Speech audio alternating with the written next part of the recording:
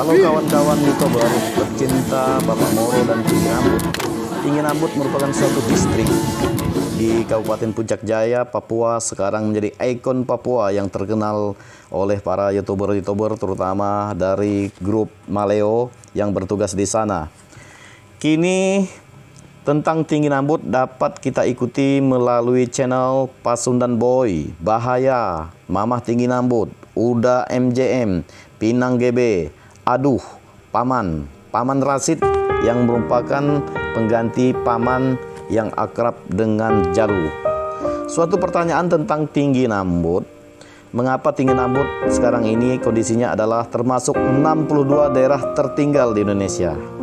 Adakah di tinggi rambut bisa ditanam padi? Mungkin dari youtuber bisa memberikan komentar.